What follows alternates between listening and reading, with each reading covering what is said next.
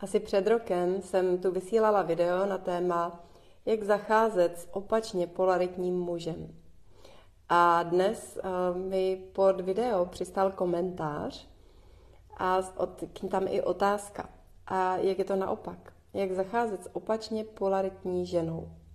Takže na to téma dneska budu mluvit. I vám vysvětlím, co to je ta polarita, co to je opačná polarita a jak s tím zacházet. Pro ty z vás, kdo byste byli zvědaví, jak zacházet s opačně polaritním mužem, tak si zagooglujte moje jméno a název, jak zacházet s opačně polaritním mužem a YouTube, protože to můžete najít na mém YouTube kanále, kde se mimochodem můžete i přihlásit k odběru a dostat upozornění pokaždé, když zveřejním nové video. No a teďka k té otázce, jak zacházet s ženou, která má opačnou polaritu. A co to vůbec je opačná polarita?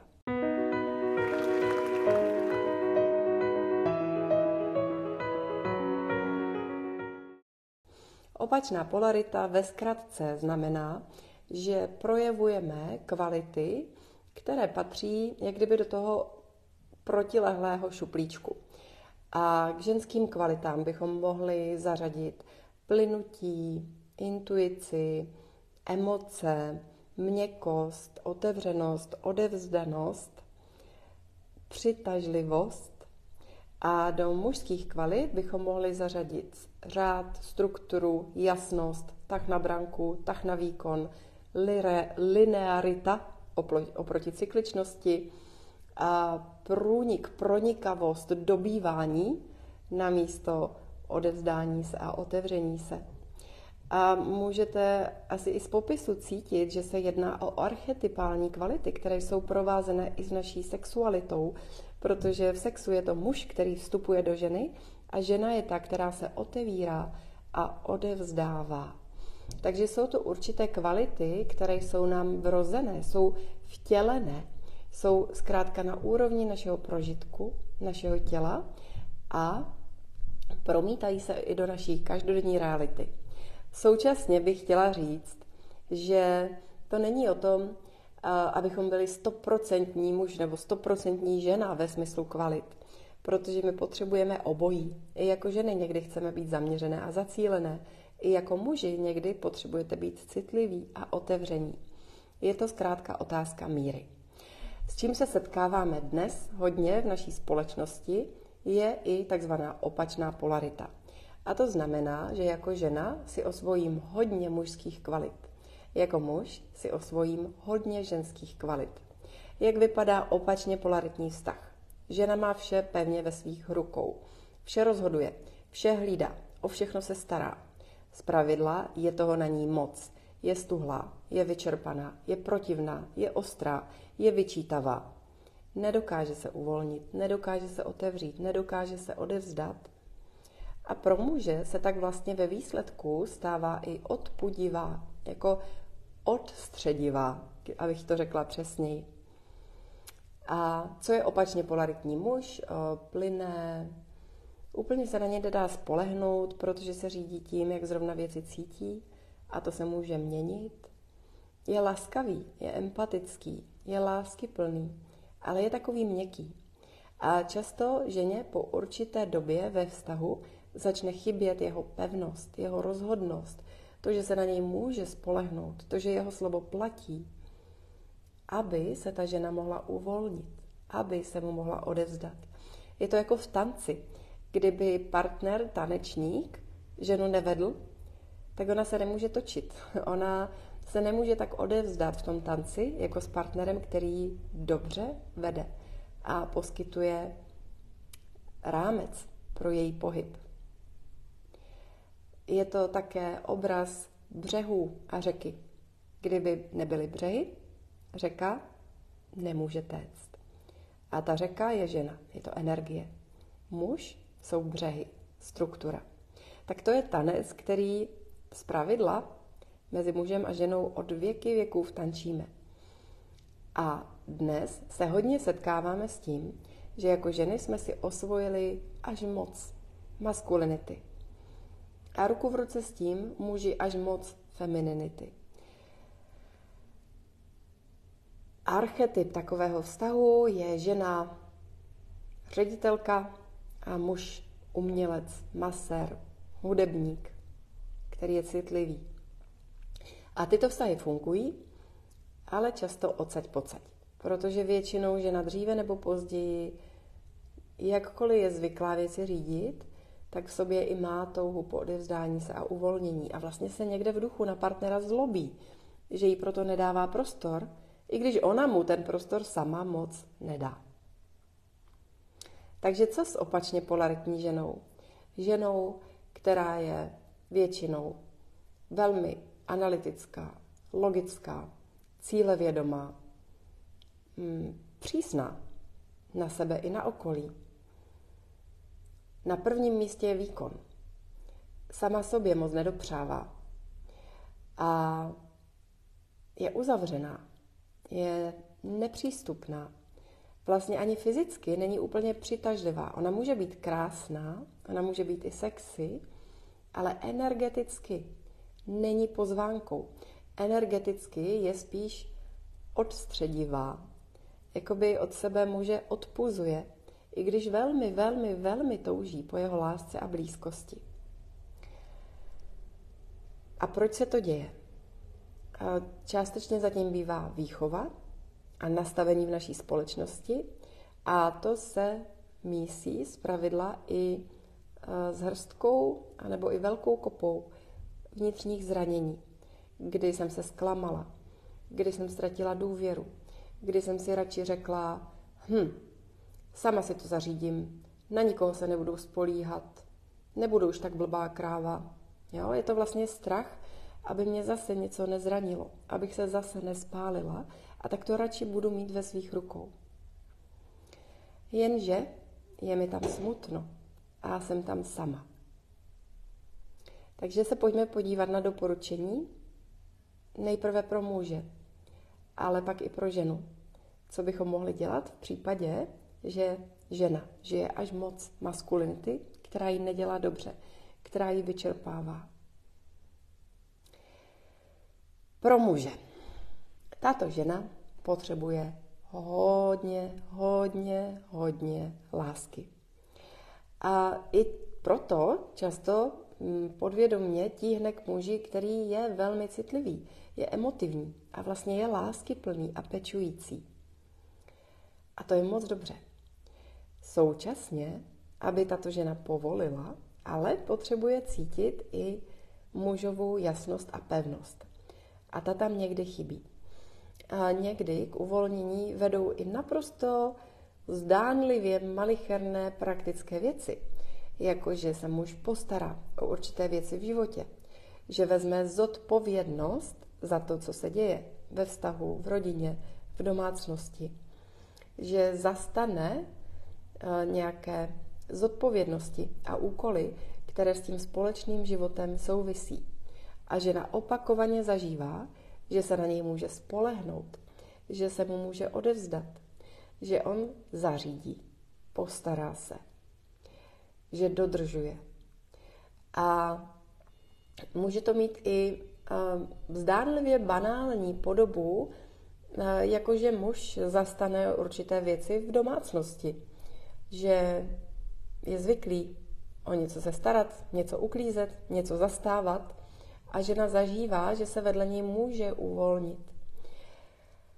Ale jde to mnohem, mnohem hlouběji, protože mm, na jedné rovině je to spojené s praxí života a na druhé rovině jsou tam často ta zranění a nedůvěra. Že v podstatě, i kdyby žena se uvolnit mohla vedle toho svého partnera, tak ze zvyku raději volí, že ne. A jako muž můžeš tu ženu milovat, přijímat, objímat, pomáhat jí, ale současně by to mělo být z místa své síly. Ne jako ten hodný kluk. Maminko ano, maminko ne, jasně, maminko, Není to z této pozice. Je to z pozice vnitřního rozhodnutí. Miluju tě a chci tě podpořit. Ne, udělám ti radost. Jo? Na to ženy velmi, velmi reagují a dokáží okamžitě rozpoznat, z jakého místa jí pomáháš a z jakého místa jí dáváš lásku. A ženy milují, když dáváš lásku z místa vnitřního rozhodnutí a takové možnosti. Není to jdu ti udělat radost, je to rozhodl jsem se k tomu. Vidím, že je to potřeba. A i k tomu muž potřebuje někdy dozrát, a opravdu jako mužsky dozrát do své síly. A vlastně i přestat být tím hodným klukem, které tu pomyslnou maminku chce potěšit. Protože i to v něm nakonec způsobuje frustraci a vztek. Potlačovaný. Takže je to o zrání obou partnerů. A jak na to? Na to jsou výborné mužské kruhy. Můžu doporučit e, skupiny mého kolegy Richarda Vojíka, richardvojík.cz. A současně s tématem polarity pracujeme hodně i na kurzech pro páry, což je určené ženám i mužům. Retreat pro páry. A co dál může dělat žena? Co můžu dělat jako žena, která si zvykla být v té mužské polaritě, mám toho hodně na hrbu, jsem unavená, mám spoustu zodpovědnosti, mám pocit, že když to přestanu dělat, tak se svět pomalu zhroutí, nic nebude fungovat, nemůžu to pustit, musím, musím, musím, musím fungovat. Jo? To je často to, co se ženám odehrává v hlavě. A ta změna nastává většinou, když si dovolíme jako kdyby dosednout do svých skutečných pocitů. Když si dovolíme se zastavit a dotknout se v hloubi sebe toho, co se pro mě, pro mě odehrává, co cítím, co prožívám, co se ve mně skutečně hluboce děje. A tam je někdy smutek, pocit vyčerpání. Tam jsou pocity, na které se většinou moc nechceme dívat a už vůbec je nechceme cítit. Ale přesně to je i ta cesta vysvobození a změny, když si dovolíme být pravdivé vůči sobě a pak i vůči druhým, vůči partnerovi, v tom, co se v nás skutečně odehrává. Když si dovolíme vstoupit i do své zranitelnosti a bezradnosti a určité křehkosti, kterou se snažíme schovat před sebou i před druhými. To způsobuje změnu v tom, jak jako ženy vyzařujeme. A my díky tomu najednou přitahujeme mnohem víc podpory a síly. Takže ta alchymie probíhá v tom, že já změním svoje vlastní prožívání. A nastavím se na větší laskavost vůči sobě, větší jemnost vůči sobě. A možná se budu chvíli cítit jako obnažené kuře, nechráněná, nejistá, ale to je přesně to, co vytváří jiný prostor, ve kterém mi partner najednou může přijít s podporou, kde on může vstoupit do své síly, kde mě může začít chránit. A opravdu je to energetická změna. Je to jako když najednou svému muži dáš energii do jeho těla, protože ty už to neneseš. A ty ho živíš uh, tou, tím jakoby tokem svých pravdivých pocitů. To, že je nepotlačuješ, nestlačuješ, neschováváš pod pokličku, ale to, že si dovoluješ být autentická, to, že si dovoluješ sdílet i to, v čem sama v sobě si nejsi jistá. To, že si dovoluješ být s ním i křehká a ztracená. A tomu doslova energeticky dává sílu. Když to jde z místa tvé hloubky, ne v napětí a zatnutí, ale v určité měkosti a odevzdání se. Tak to je zase to, co trénujeme jako ženy. Proč to trénujeme? No, ono, nám je to vrozené, ale my jsme se to většinou v průběhu života odnaučili. Naučili jsme se potlačovat svoje pocity, analyzovat svoje pocity, vysvětlovat svoje pocity a nemít svoje pocity. A to nám škodí. Škodí to našemu tělu, škodí to naší duši a škodí to i našim vztahům, protože pak ve vztazích nezažíváme blízkost a naplnění, ale vzduchoprázdno, odcizení a pocit samoty. Takže to opravdu stojí za to jít do té hloubky a autenticity, která umožní, aby v našich vztazích byla vřelost a blízkost. Takže pro ženy je to hodně o uvolnění a o přijímutí svých pocitů i své nejistoty a zranitelnosti, přijetí v sobě a ochotě to sdílet s partnerem. A sdílet neznamená jenom o tom mluvit. Sdílet znamená především dovolit si být viděná v tom rozpoložení, ve kterém bychom se nejraději chtěli někam schovat i sami před sebou. No a pro muže to znamená ženu milovat. I když ještě neumí být tou jemnou a křehkou a ukazuje ti spíš dikobrazí bodliny. Ale ty ji můžeš svým záměrem a vřelostí svého srdce milovat, až ti úplně roztaje v náručí. A já vím, že to zní krásně a současně si říkáš, jak, jak, ale jak to mám udělat? A na to jsou postupy. Na to je technika, není úplně dobré slovo, ale svým způsobem to technika je, kterou učíme na kurzech pro páry, anebo v online programu Tajemství šťastného vztahu, kde přesně tohle učíme, kde učíme muže, jak máš zacházet se svojí emocionální ženou, která je protivná, která ti něco vyčítá, ale v hloubi duše touží po tvojí blízkosti, touží po tvojí lásce. Touží, aby si měl rád, i když ona nemůže vystát sama sebe.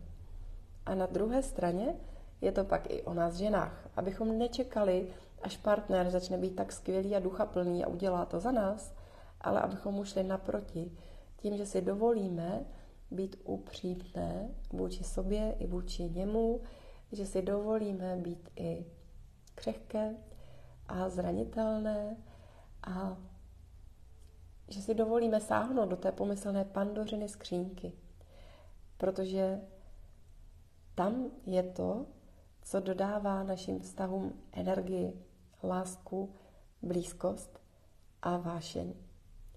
A to vše můžeš v sobě znovu objevit a zažívat pro sebe i ve vztahu úplně, úplně jinou realitu. Pokud tě zajímá víc a chceš udělat první kroky a říkáš si, co teď, co teď, co teď, tak běž na můj web denisapalečková.cz, najdi si retreat pro páry nebo ve formě online tajemství šťastného vztahu. A nebo občas vysíláme virtuálně retreat pro páry, jako živé vysílání z kurzu. A jako žena podívej se na online tvůj zdroj. To je odpověď na to, jak se v lásce a uvolnění ukotvit v sobě. A jak sama polísá připojení, tak já to radši zopakuju. A je to návod k tomu, jak se s láskou ukotvit v sobě a jak začít žít úplně novou realitu ve svém životě, kde není boj, není pocit osamění, není pocit odcizení, ale naopak ve výsledku pozoruješ, že i ten svět ti jde jakoby mnohem víc na ruku, že zažíváš mnohem víc podpory, mnohem víc lásky a mnohem větší uvolnění sama v sobě. Pokud s tématem máš nějaké zkušenosti nebo k tomu máš další otázky, napiš do komentářů. Budu se moc těšit.